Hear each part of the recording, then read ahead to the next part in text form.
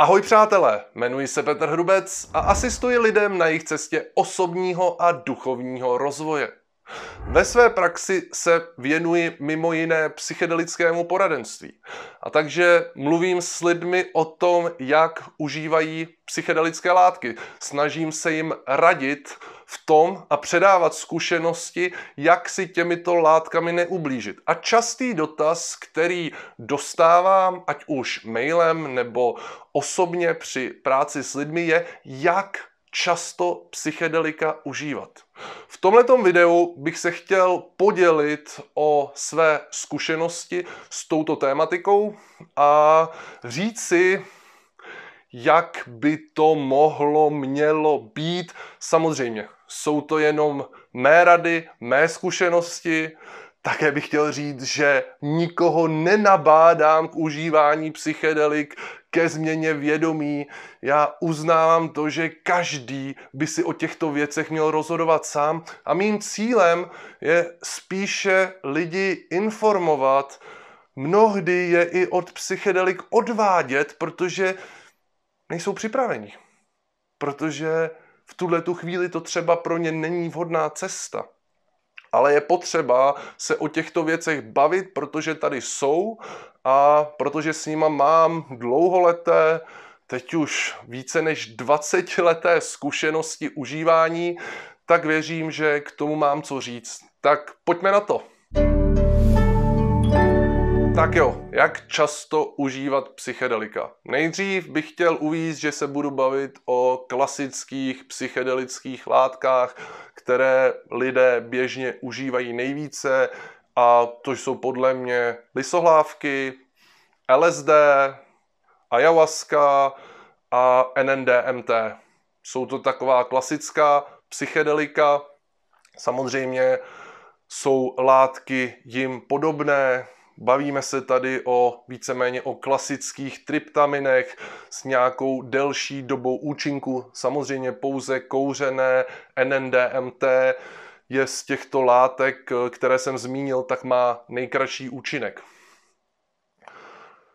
Samozřejmě, na otázku, jak často užívat psychedelika, se nedá odpovědět, aby ta odpověď byla pratná pro všechny ale věřím, že jsou tady nějaké zásady, nějaké zákonitosti práce s těmito látkami. Nejdřív eh, bych chtěl říct, že člověk, který už eh, je skontaktován sám se sebou, řekněme je vyspělý, už eh, vnímá, kým skutečně je, jak jim proudí energie, funguje nějak se svými pocitami a myšlenkami, tak ten je schopný navnímat a vycítit, kdy je čas pro psychedelickou zkušenost. Lidé, kteří jsou na této úrovni vnímání sebe a světa, tak eh, k tomu častokrát přistupují tak, že pokud pocítí vnitřní impuls k tomu, aby si změnili vědomí, tak eh, častokrát eh, počkají. Počkají, týden, dva, tři, zda ten impuls tam stále je. A pokud tam stále je a pokud ho stále cítí dobře, tak pak přistoupí k nějaké ceremonii v kontrolovaném setu a settingu. Pro tyhle lidi asi tohleto video netočím, protože každý nakonec ví, co je pro něj nejlepší. A já i ve své práci se snažím přivádět lidi k sobě a ukazovat jim, že nikdo nezná je lépe než oni sami sebe.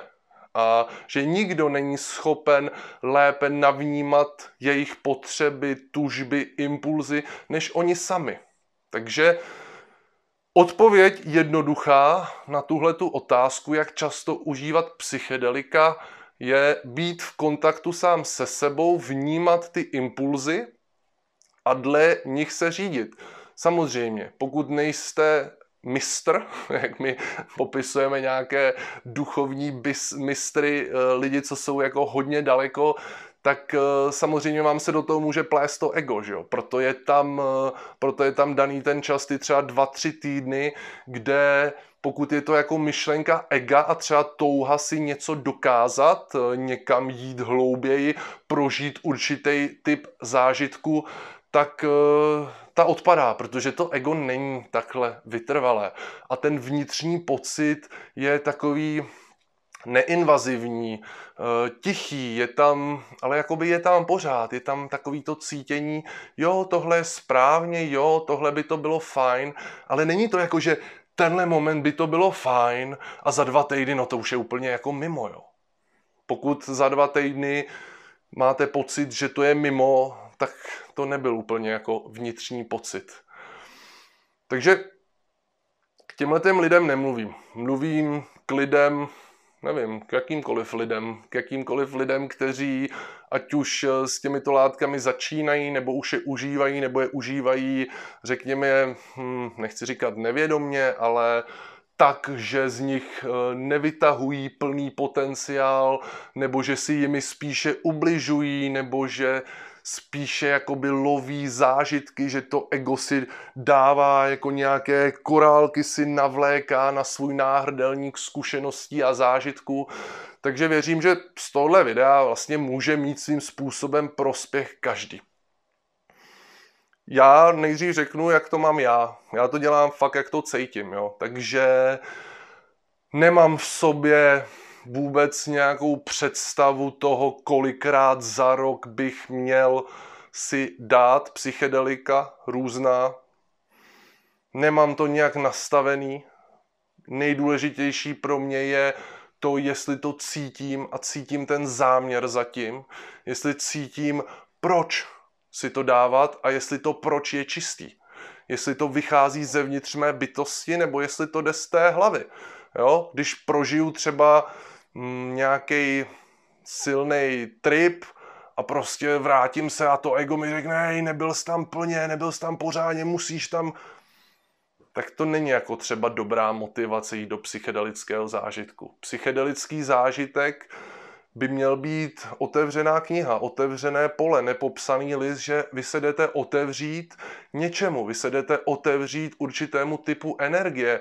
Ano, můžete mít záměr, se kterým do toho vstupujete, ano, je důležité, aby ten záměr byl zvnitřku, ale jdete do toho s tím, že se může stát cokoliv. A vy jste otevření tomu, aby se cokoliv stalo, protože vy nevíte, jaký typ prožitku potřebujete.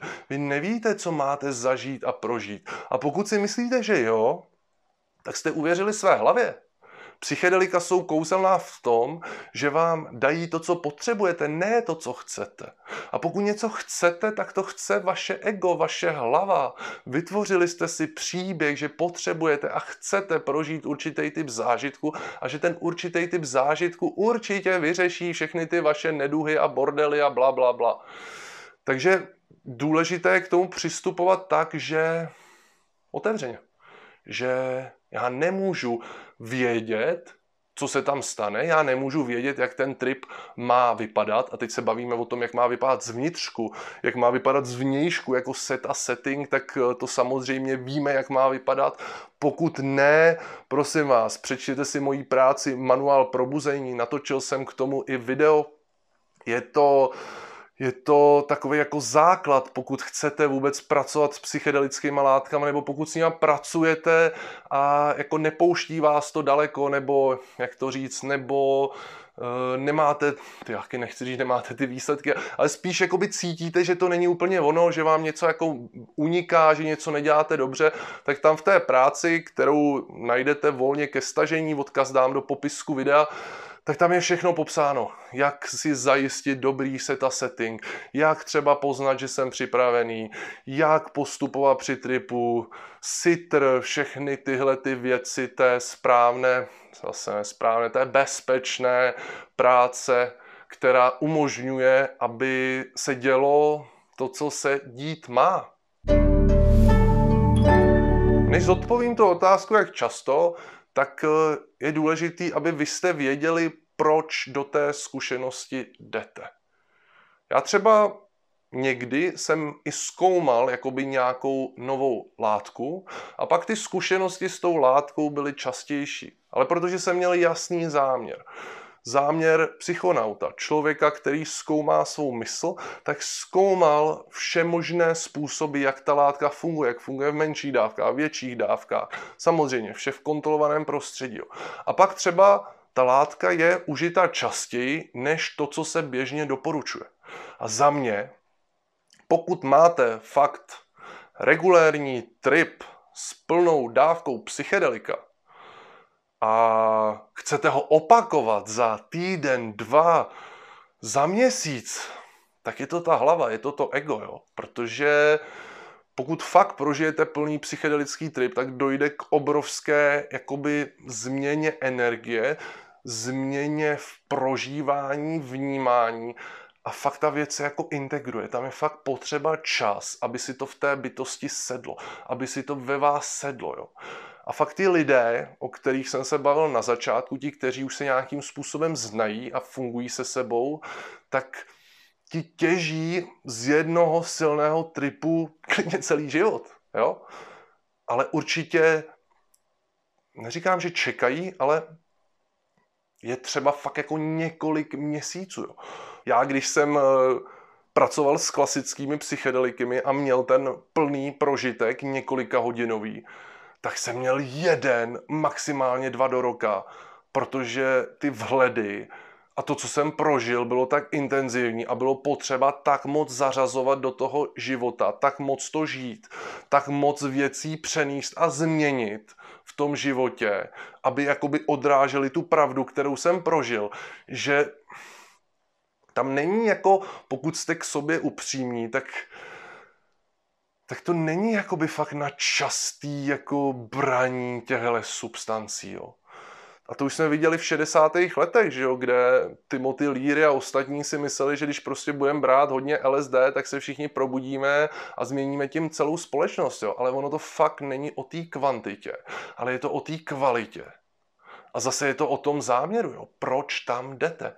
Jestli si tam jdete něco dokazovat, jestli tam jdete překonávat svůj strach, jestli tam jdete z hecu, jestli tam jdete z nevědomosti, nebo prostě jenom wow, prožít něco obrovského a pak se tam jako znova a znova vracíte, tak je to jako slepý, jo? to je jak střílet se slepejma patronama, protože podle mě smysl těch věcí, těchto nástrojů je nám něco ukázat o nás samých, o této realitě. A smysl jejich je to, abychom to pak žili tady, aby náš život díky těm prožitkům byl lepší, ale nejde o ty prožitky samotné. Takže pokud máte tendenci, a častokrát to vidím třeba v skupině na Facebooku Psychedelické Česko, jak brzo po tripu s lisohlávkami si můžu dát znova lisohlávky.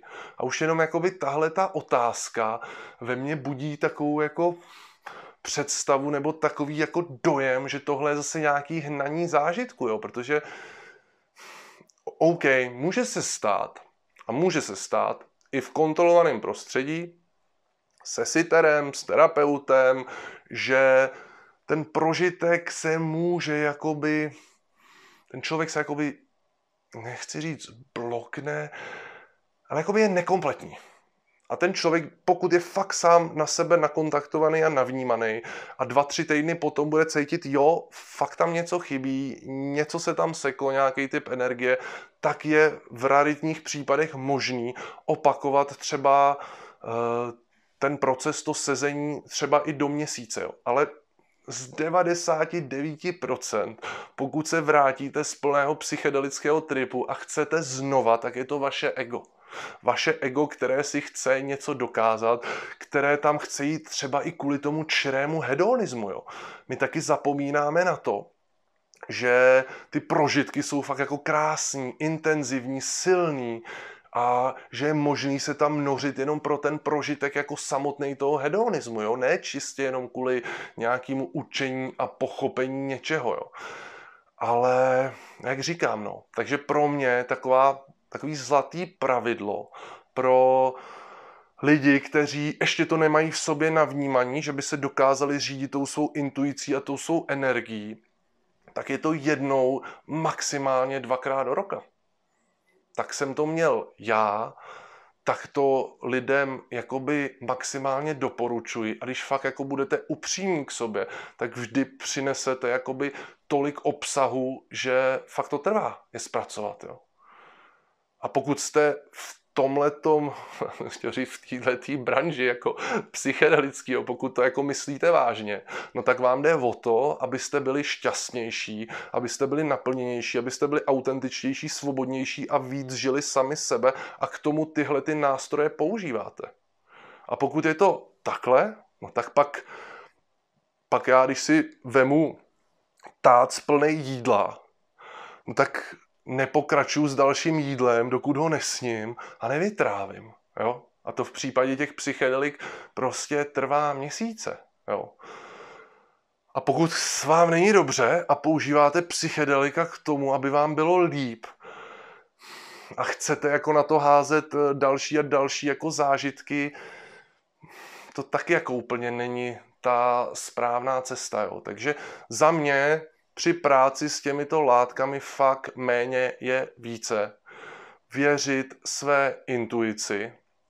Pokud po tripu budete cítit, že chcete zpátky, buďte s tím pocitem, navnímejte, co to je za pocit, vydestilujte ho, nechte ho projít a víceméně vám skoro můžu garantovat, že za měsíc nebo dva už tam nebude. Protože to byla touha toho ega, který chce znova ten zážitek, jo, z různých důvodů. Teďka tady nebudu rozebírat ty všemožný důvody, proč lidi se pouštějí do tohohle typu zážitku. Tak jo, to by dneska bylo všechno, bylo to jenom takový kratičký video. Doufám, že se vám líbilo, pokud jo, sdílejte ho, dejte mi like, dejte mi odběr a u příštího se budu těšit zase na viděnou. Ahoj!